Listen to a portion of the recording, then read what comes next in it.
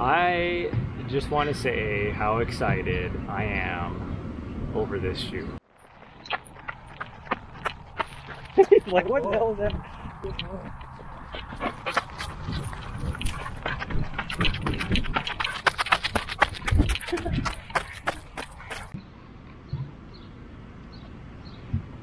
Hello, everyone. So, I uh, just got done with my run, uh, so I probably look like crap, but it's a little warm out here. Did about uh, seven and a half uh, miles. it's about 80 degrees already. Um, we're out here in a park. My dog wanted to get out. She didn't run with me this morning, so I brought her out here. And today we are going to do a shoe review on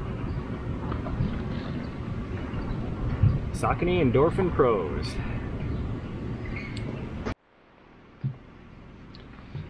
As always, uh, everything I say about uh, any of the products I review, uh, I do not receive any uh, kind of uh, compensation for anything. Everything is my complete opinion um, and my thoughts. And with that, we'll get into it.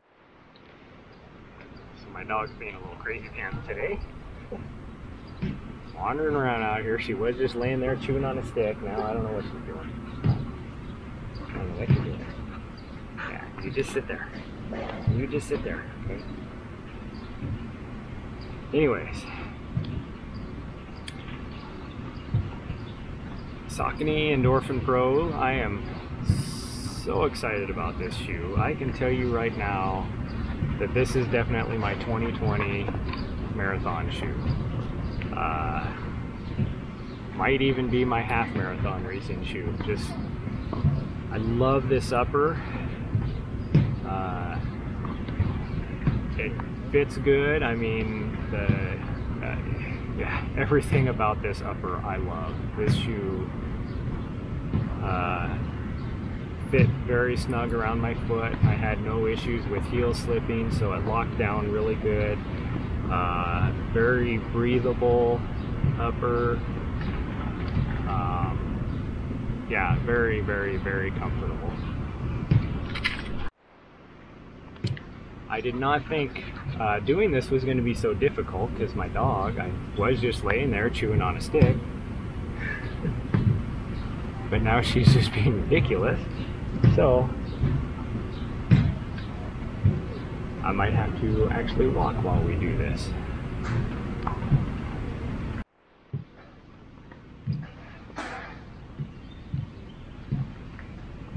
So this shoe is um, does have a higher stack height than I normally go for.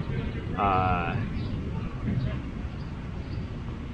so that took a little bit of get, getting used to for me. Um, but I still really, really liked running in this shoe. Um, one of my other videos, I mentioned the fact that it just makes me want to go fast, and it does. Uh, I would try and run a, uh, you know, around that eight and a half minute uh, per mile pace, and I would end up, then I'd look down at my watch, and I was running 640, 630 without even trying, and I didn't feel like I was even trying. Um, this shoe makes me run fast. And uh,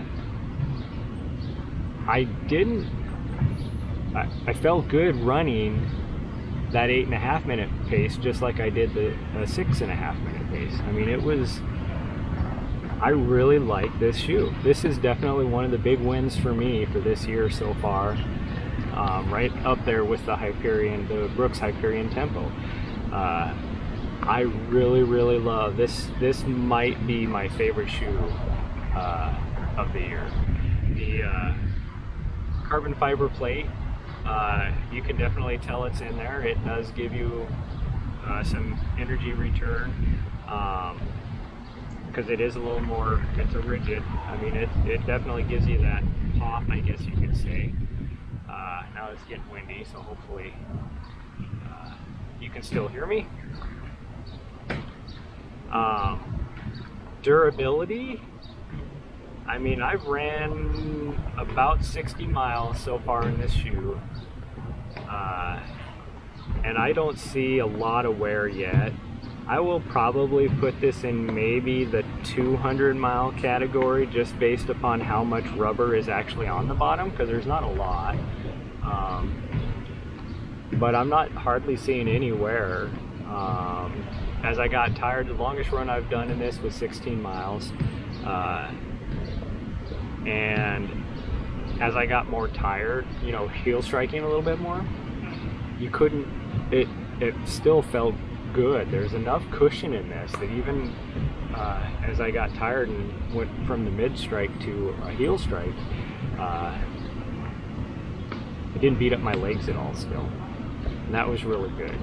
Uh, definitely did not feel like my legs were, were getting beat up on this shoe. Um, again, like I said, it's, it's a softer landing than what I'm used to. I do typically like that firmer, but I think because this has that carbon fiber plate in it with that pop, I think that's why I like it and don't mind that softer uh, landing. Uh, I will say because it does have that higher stack height than what I'm used to, um, I had to be careful when I was running on rough terrain. I did actually twist my ankle a little bit just because I wasn't as didn't have as stable of a feel um, with the ground contact like I, I typically like. But um, this, I, I would never use this on trails anyway, so that's not a, a big big problem for me. Um, this will definitely be my racing shoe so far for, for 2020. I do really like this shoe. Uh, it's a big win for me.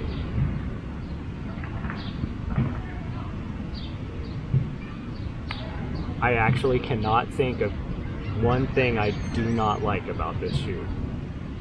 Uh, it is just a big win.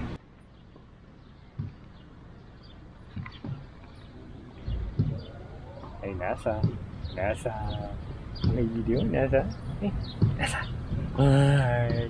Oh, there it is. There it is. Well, my dog had finally had enough of just sitting around there. I don't know why she can't just enjoy rolling around in the grass, but she just has to be on the move all the time. Anyways, guys, uh, hopefully you enjoyed my video. Um, you know, please subscribe to my channel and uh, I'll keep making videos. Hit the like button. Uh, feel free to follow me on Strava at uh, and uh, Instagram. Details will be listed below. And until next time, guys, stay motivated, keep your goals, keep out there running.